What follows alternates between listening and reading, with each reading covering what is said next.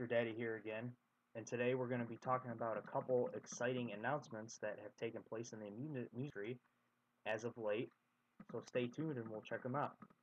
To get things started today, we're going to be talking about Kentucky Kingdom's latest announcement, Kentucky Flyer.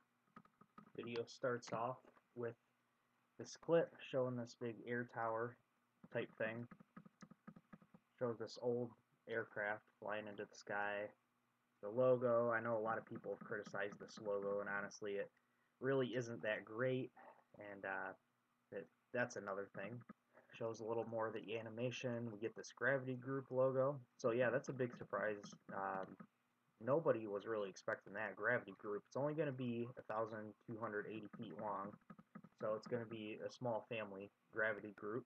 45 foot drop, 52 degrees. 54 degree banking turns.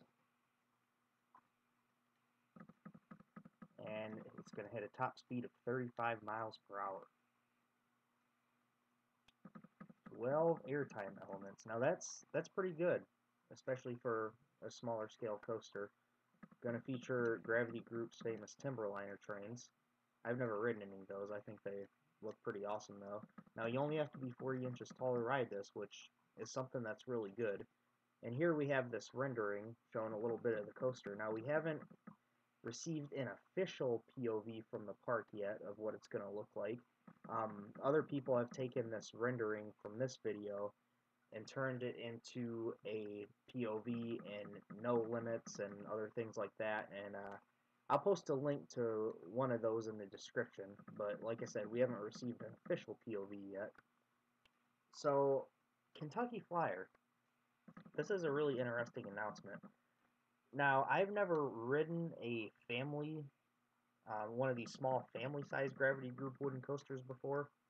I know a lot of people who have ridden them said they're really excellent rides and great additions to the park, such as, you know, Wooden Warrior at Quassy, then you've got Oscar's Wacky Taxi, which is at Sesame Place. I actually think this is a really good announcement for Kentucky Kingdom, and it's exactly what they needed. Now, a lot of people were making predictions like these crazy, like, you know, huge coasters, like, you know, $20 million B&M hyper coasters and this and that. I thought those were way too lofty. I never expected them to get anything like that. But this is exactly what Kentucky Kingdom needed they need that family coaster because they have, you know, they have T3, which is a really thrilling coaster with lots of inversions. They've got Thunder Run, which is an older wooden coaster, but still it's a thrilling coaster. Storm Chaser, which is a really intense airtime focused ride. Then Lightning Run, which is another intense airtime packed coaster, although smaller. So they really need that family coaster to pull that family market in. Right now they just have you know, a kiddie coaster. Then after that, it's just a bunch of, you know, really intense coasters and big thrilling ones. So this is going to be really good. You know, it has that 40 inch height limit, which is really good, which means all the families can ride it together. You know, it's not just going to be a little kids coaster, you know, something that kids can ride with their parents. Or this is going to be something everybody's going to enjoy. Even the big time coaster enthusiast, you know, it's going to have all that air time. It's going to provide a great fun ride. I think this is perfect. I don't really have a whole lot else to say about it. Maybe in the next couple years, uh, I'll hopefully be able to make it out to Kentucky Kingdom and experience all their awesome rides, and I think this is going to be another great one here. Next thing we're going to be talking about today is Hershey Park and their announcement of Chocolatetown. I have not been to Hersheypark yet. Hopefully, I'll be able to make it out there 2020 or so.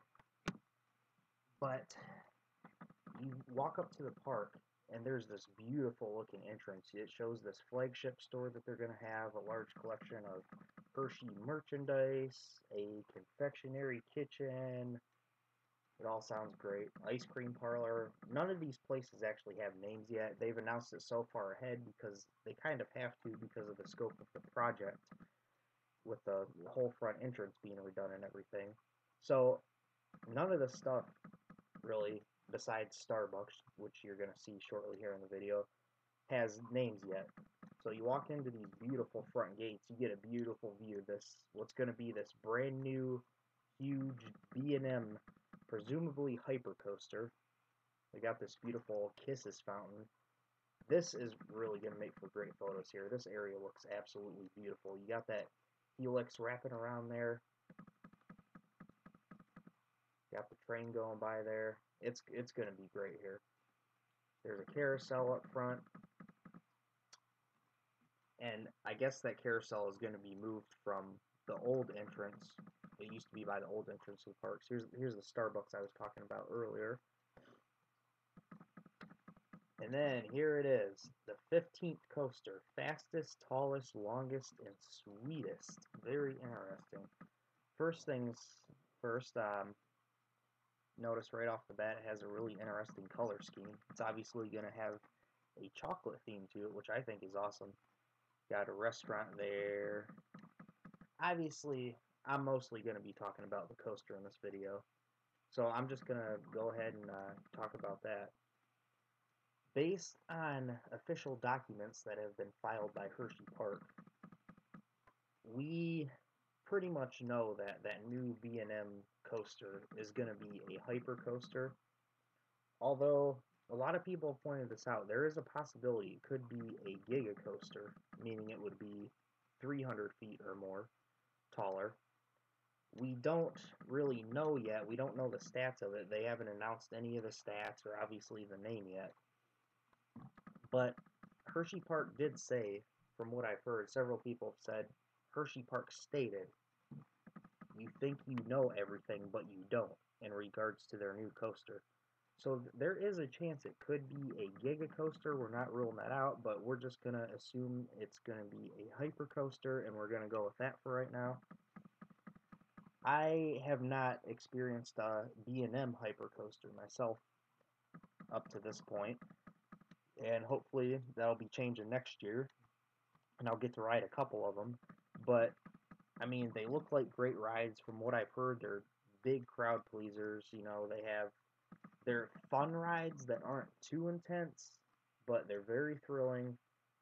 Provide great floater airtime, in some cases, decent ejector airtime too. And uh, I mean, I think based on the layout that we see in this video, with this one too, we don't have an official POV because, you know, parks announcements so far ahead, they're going to kind of do announcements and phases and talk about different things in the future, and we're going to get more details later on. But from the layout in this video, this looks like it's going to be an absolutely phenomenal B&M Hypercoaster. I mean, the layout looks amazing, and uh, the way it just interacts with the whole Chocolatetown area, and it's just going to be a fantastic front gate coaster. You're kind of taking a page out of the Cedar, Cedar Fair book, it looks like, by you know having that beautiful front gate entrance there with a big sprawling B&M coaster. It's it's going to be great. Now, something that I thought was really weird at first, and a lot of people have talked about this, is it seems kind of odd that they're adding a hypercoaster, presuming this is a hypercoaster and not a Giga. It does have a very hypercoaster looking layout, even if it is a Giga. But um, let's say it's going to be a hypercoaster. It's very interesting because Hersheypark has Skyrush, which is a hypercoaster. It is made by Intamin though, and it's going to be a very different type of ride experience from Skyrush, however. Skyrush is very intense, focuses on really strong ejector airtime, where this is most likely going to be focused on floater air, and it's not going to be nearly as intense as Skyrush. But over time, I've warmed up more to the idea of there being two hypercoasters, mainly because of all of what I just said. You know, it's going to be a totally different ride experience. And honestly, the general public isn't going to have any idea. I mean, as coaster enthusiasts, we're gonna notice stuff like that. But you got to think, you know, in in bigger terms. You know, it think of it in a bigger scope. The general public isn't going to have any idea, and this is going to be a great investment for Hersheypark. I mean, this is going to bring in so many new guests. You know, along with all the other stuff that they're adding. It's going to be a great addition so I'm looking forward to hearing more about this ride in the future. Hopefully I'll be able to make it out to Hersheypark in the next couple years. Thank you guys for watching this video today. This has been Coaster Daddy. See y'all later.